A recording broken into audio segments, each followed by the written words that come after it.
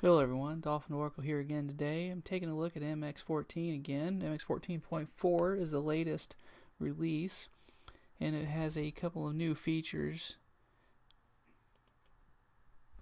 as well as a whole host of bugs fixes. Those of you that had trouble getting online with your Broadcom chipsets in 14.3 should find this one a bit easier if your chipset, particularly if your chipset is supported by the WL or the Broadcom STA DKMS driver.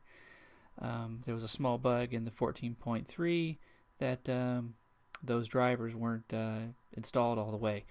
Um, also, there's a small bu- there was a small bug on 14.3 where Network Manager wouldn't run your wired Ethernet port automatically, even though you were working. Network Manager reported that it wasn't. That is fixed now in 14.4. A couple of new features. The biggest one is being XFCE 4.12.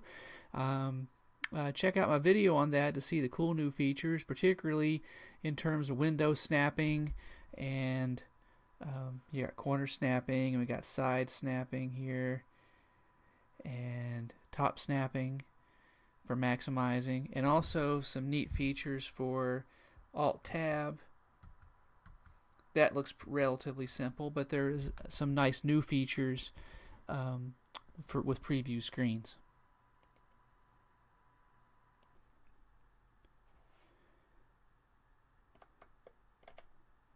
There's also some new extras in the package installer, and there's now a new sound card selector. So let's check a few of those things out. First thing we're going to take a look at is the sound card selector. Now, MX does not use Pulse Audio. It uses the standard basic ALSA sound system that all Linux distributions use.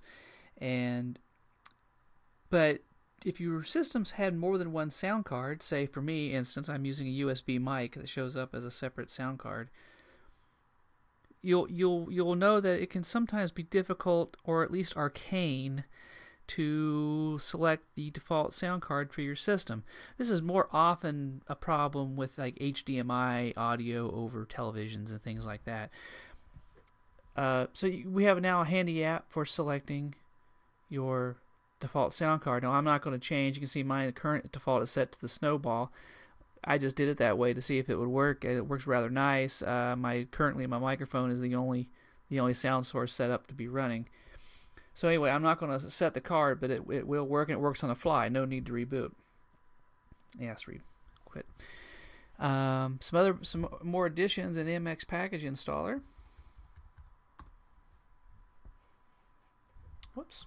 There it goes.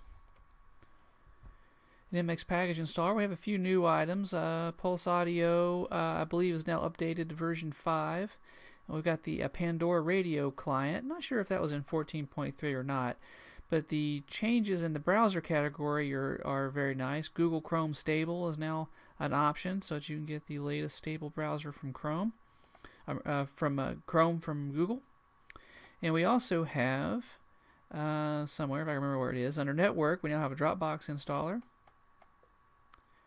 And under Screencast, Simple Screen Recorder is still there. Now, if you're if you happen to be running version 14.3, these things will autom automatically update. You'll have them without you don't need to install from the new ISO.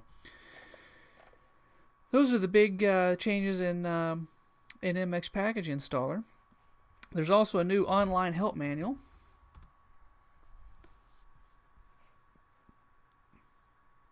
uh, I say online, but is actually installed on the ISO itself. So you have it, and again, it'll come down in the updates. Fully annotated with graphics for the different uh, objects. It's a uh, it's a rather um, well, it's a rather large manual, and it, it's got a little bit of something for everybody in there. So check it out, including troubleshooting tips for various systems in your system in, in on your computer. Uh, particularly the sound section's good, and the networking section um, is also very useful uh, for those of you uh, in particular with Broadcom chipsets, which can be problematic.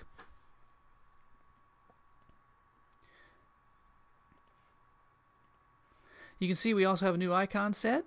Looks pretty nice, a little more modern. Um, the new uh, we have a new theme for the uh, window manager set to albatross for the decorations around the window around the windows And the XFCE theme is set to, well, let's just do this real quick. Oops, I picked the wrong one. Be a window manager. Uh, Albatross. The default XFCE uh, looks like this. They changed their default, which is what MX was using in the past, and so it looks like this. You feel free to use whatever you want. Albatross is a is what they've gone with for the default on the 14.4 ISO.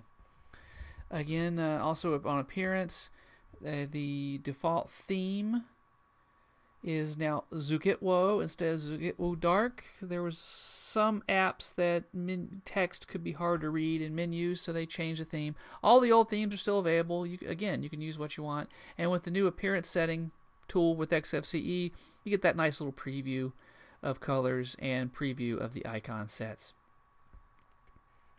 Again, the big feature for 14.4 is that all the bug fixes over the last several months have been rolled up into one ISO. The the uh, the new icon set, the new sound card selector application, and the new um, uh, options in MX Package Installer. There are also, uh, again, various bug fixes that have been taken care of that are under the hood, and the rather extensive new MX manual. This will probably be the last official release in the 14 series for MX. It's been a good year. Um, we're looking forward to the release of antiX 15 in the near future, uh, as soon as Jessie go, Debian and Jessie go stable, and then moving on to uh, MX 15 after that. Um, if you want to help out bug testing that new antiX 15 release, head over to antix.freeforums.org and check out the links for the various beta releases that's currently in beta 1. This is Dolphin Oracle signing off. Have a great day.